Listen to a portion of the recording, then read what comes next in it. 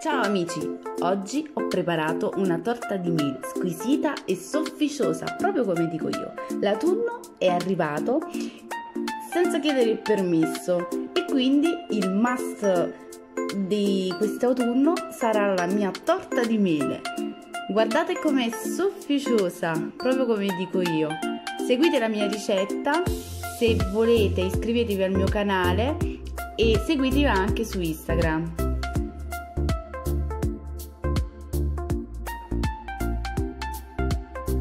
Per preparare la mia torta di miele, per prima cosa in una ciotola versate 3 uova. Mi raccomando, gli ingredienti devono essere a temperatura ambiente. Se le uova le conservate in frigo, le dovete togliere dal frigo le due ore prima di usarle. Quando poi azionate la frusta e quando il composto risulterà spumoso aggiungete lo zucchero e continuate ad usare le fruste. Poi il burro, aggiungete il burro fuso, mi raccomando il burro deve essere freddo. Poi setacciate la farina e il lievito insieme e aggiungere il tutto un po' alla volta e continuare a mescolare.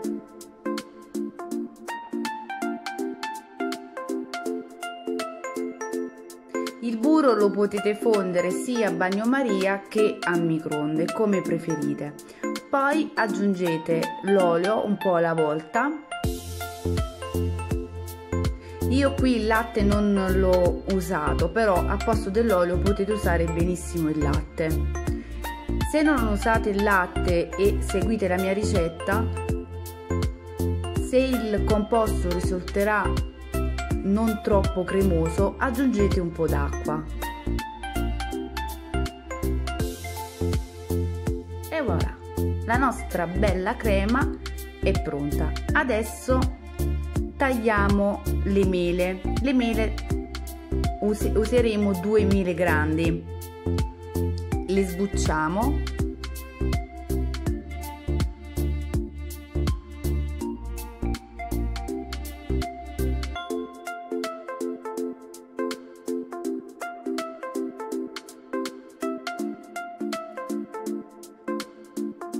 La prima mela la, la tagliamo a metà.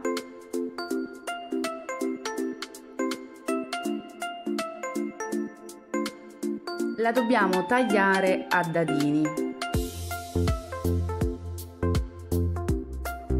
Così la inseriamo nel nostro composto che abbiamo creato che abbiamo appena preparato. E voilà tagliata la mela a dadini la versiamo nel nostro composto.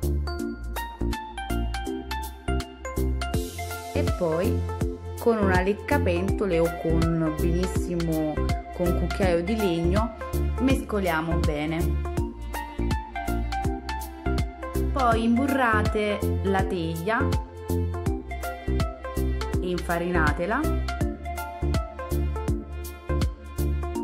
versiamo il composto.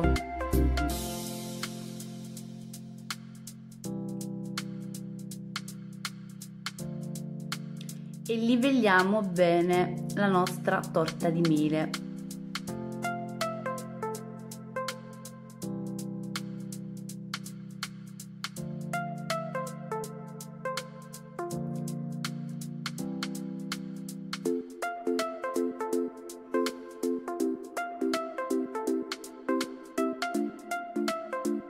Poi una volta livellata mettiamola da parte e iniziamo a tagliare la seconda mela. La sbucciamo e poi dobbiamo creare delle fettine sottilissime così da poter decorare la nostra buonissima torta di mele sofficiosa.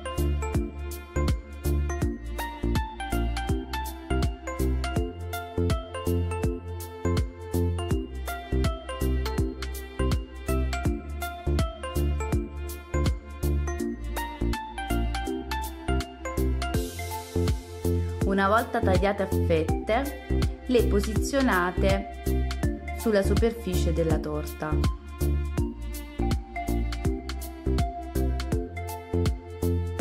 Partendo dall'esterno fino ad arrivare al centro, creando un bel fiore. Infornate a 180 gradi per 55 minuti. Se ti è piaciuto il video clicca mi piace, iscriviti al mio canale e attiva la campanella per non perdere nessuna delle mie ricette e soprattutto segui anche su Instagram e su Facebook. Ciao!